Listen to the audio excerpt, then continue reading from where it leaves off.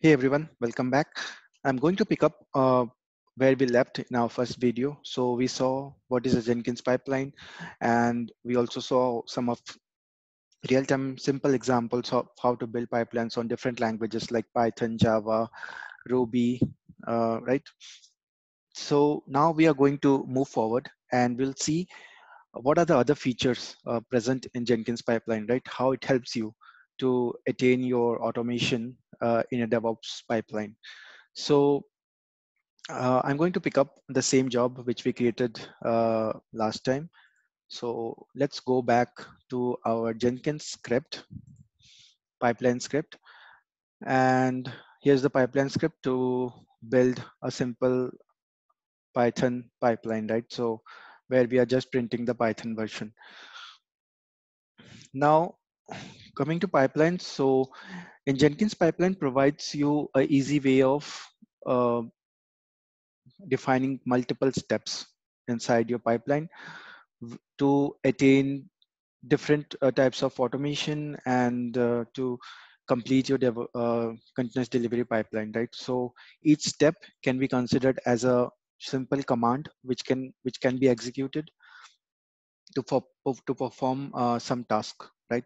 So the current version of pipeline which you are looking at, it has got a shell command. So this is this can be run only on a Linux or a Unix based systems, right? It won't work with Windows systems because shell, uh, you cannot run a shell command on Windows, right? Now, if you want to run uh, your commands or a pipeline on a Windows machine, so you need to ch uh, just change the shell into a batch command, right? So you just need to make it bat and then you need to provide the command here. So it could be anything, but yeah. So that's how uh, you define a Windows batch command, right? Now, there are some other features like uh, if you want to handle some failures in your pipeline in a certain way, you can also modify your steps. So for example, inside steps, you can also put a condition to so that your Jenkins pipeline will actually try to run your shell script multiple times, right, before it fails. So using retry, uh, you can actually uh, run this shell command three times before it actually fails your pipeline. So in Jenkins pipeline, you need to remember that until and unless every step passes, your pipeline will not pass, right? So if any of the step fails, your pipeline will fail. So this way you can uh, put a retry attempt for your uh, shell scripts, right?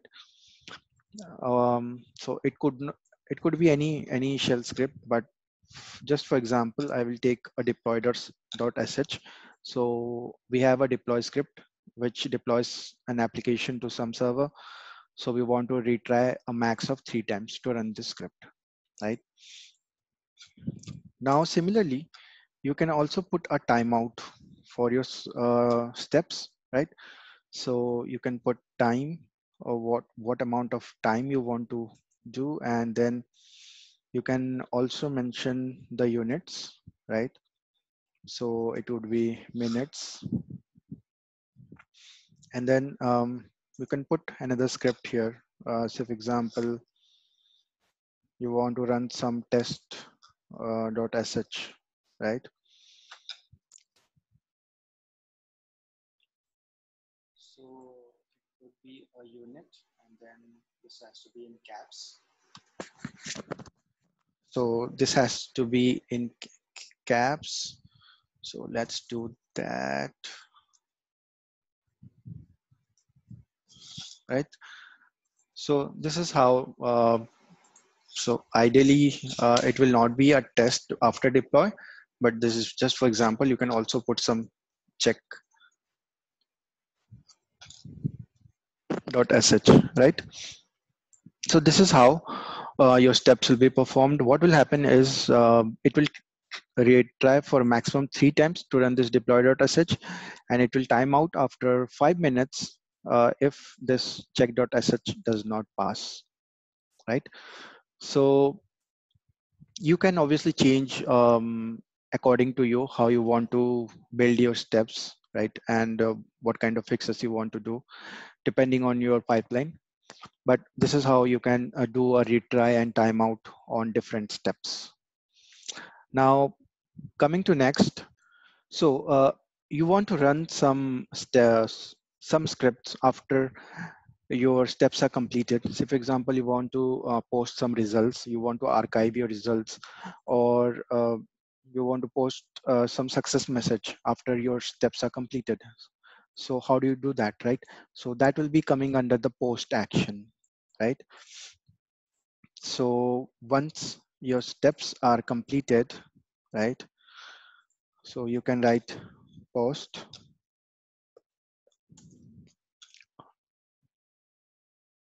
or um, you can also write it outside the stages, but I'll just uh, do it inside the build stage itself, right?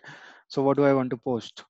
Now, let's see something in the pipeline syntax, right? So I want to archive the artifacts, right? So, but what, what files do I want to archive?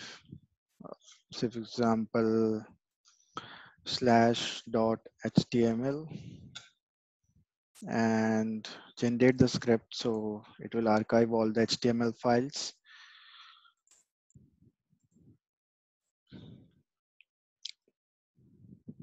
right? So you can also do a lot of other things. Like you can uh, surround this uh, based on some condition only you would want to do this right? So say for example you do want to do this always right? So we can put the always and this is going to always archive your artifacts right? So similarly you want to do something on success right? And similarly you want to do something on failure of your pipeline. So this is how you can perform different kind of actions on uh, post your steps or stages of your pipeline right? So this is all uh, regarding the features of pipeline what you can do inside your steps what you can do post steps right? So join me in my next session where uh, we'll look into some of the other features of pipeline and some of the other concepts which are used within pipelines. So thank you for joining and finally please share your valuable comments and feedback with me. Don't forget to subscribe to my youtube channel qa script uh, you can find uh, the subscribe link on my youtube channel. You can also visit me at uh, my site qascript.com thank you